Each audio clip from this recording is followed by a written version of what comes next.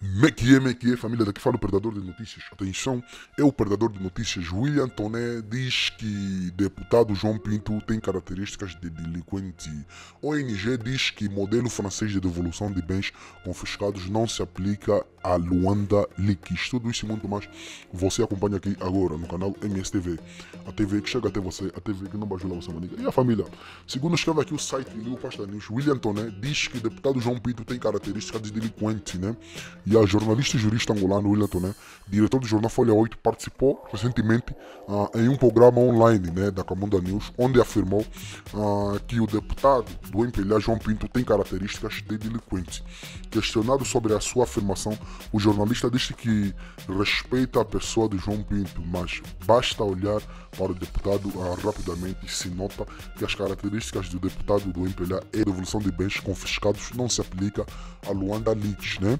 E ao projeto de lei de programação para desenvolvimento solidário e da luta contra a desigualdade globais, que se será votado na terça-feira pela Assembleia uh, Nacional Francesa, prevê que as receitas, as receitas de bens confiscados a pessoas definitivamente condenados por branqueamento de capitais e apropriação de bens, né, sejam canalizadas para financiar ações de cooperações e desenvolvimento. Fonte uh, freemindfreeworld.org. Vamos ouvir aqui a matéria completa. Ok, let's go. A diretora executiva da Transparência e Integridade disse hoje que o modelo francês de devolução de bens confiscados a líderes estrangeiros não se aplica ao caso Luanda Liax, propondo o reforço da cooperação judiciária entre Portugal e Angola.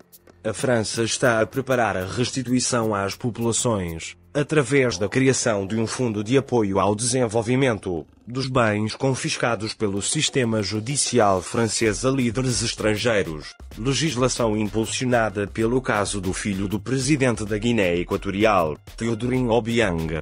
Acho que o modelo francês não se aplica ao Luanda Liax porque existe um Estado soberano em Angola que já encetou esse processo de recuperação de ativos confiscados à empresária e filha do ex-presidente de Angola, Isabel dos Santos, disse Karina Carvalho à agência Lusa. O dinheiro devolvido aos angolanos pode ser por via das instituições públicas, por via do Estado. O que é importante garantir é que se criem mecanismos de monitorização cívica que permitam à população e às organizações da sociedade civil perceber onde é que são investidos esses recursos, acrescentou.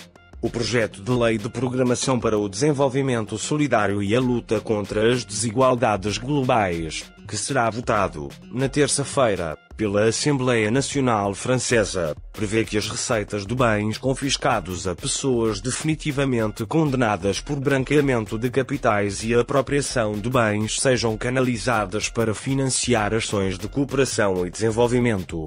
O diploma deu entrada no Parlamento francês em dezembro de 2020 e foi submetido a uma primeira votação a 19 de fevereiro, tendo na ocasião sido voltada por unanimidade uma emenda que consagra, pela primeira vez na lei, o princípio da restituição dos ganhos ilícitos à população dos países lesados prevê-se que as receitas provenientes de ativos apropriados sejam canalizadas para um fundo de ajuda oficial ao desenvolvimento, gerido pela Agência de Cooperação Francesa.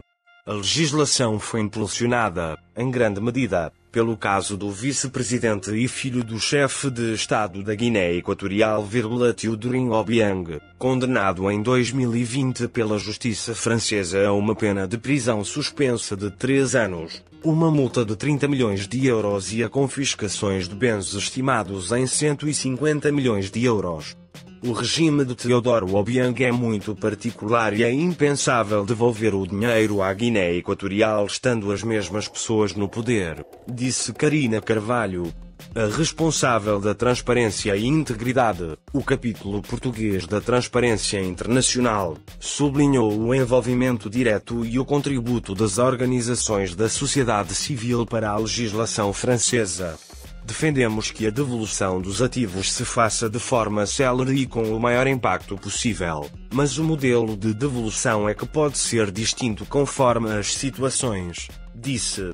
No caso conhecido como Luanda Leax, que denunciou o alegado de desvio de fundos públicos por parte da empresária Isabel dos Santos, filha do ex-presidente de Angola, José Eduardo dos Santos. Karina Carvalho defende o reforço da cooperação judiciária entre os dois países tem de existir um canal de interlocução direto que permita investigar rapidamente onde é que estão esses ativos e encetar todos os procedimentos judiciais para a sua confiscação, disse, adiantando que Isabel dos Santos tem ativos no sistema financeiro, no imobiliário e também na participação de empresas. Karina Carvalho defendeu, por outro lado, a importância de dar a possibilidade a organizações da sociedade civil angolanas de poderem desencadear processos em Portugal, reclamando-se como parte interessada.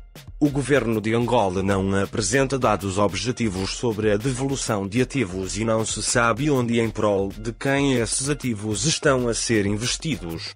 Esses mecanismos de monitorização cívica têm de existir, disse, defendendo que é preciso garantir que as vítimas da corrupção são compensadas. Por outro lado, lembrou Karina Carvalho, Portugal subscreveu a Convenção das Nações Unidas contra a Corrupção, tendo obrigações internacionais nesta matéria. O esforço de recuperação de ativos tem de ser feito de forma sistemática e não pode estar exclusivamente dependente do pedido de cooperação que venha de outros Estados. Se as autoridades judiciais têm conhecimento que Portugal é um abrigo de cletocratas, têm de intervir, independentemente dos pedidos de cooperação internacional, disse. A diretora da TI Portugal adiantou que faltam dados consolidados sobre quantos ativos Portugal já ajudou a recuperar, considerando que sem casos concretos não é possível perceber se a legislação portuguesa é ou não adequada. No caso francês, esta lei decorre da necessidade. O governo francês tem os montantes, confiscou os bens e agora como é que os devolve? Chegaram à conclusão que não podiam simplesmente devolver ao governo da Guiné Equatorial, disse.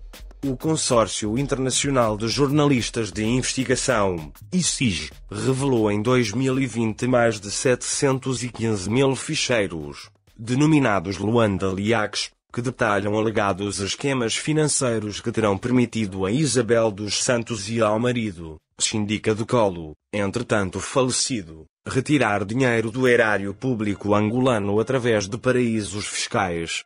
Na sequência destas revelações, foram instaurados em Angola vários processos civis e criminais contra Isabel dos Santos, em que o Estado angolano reivindica valores superiores a 5 mil milhões de dólares, 4,6 mil milhões de euros.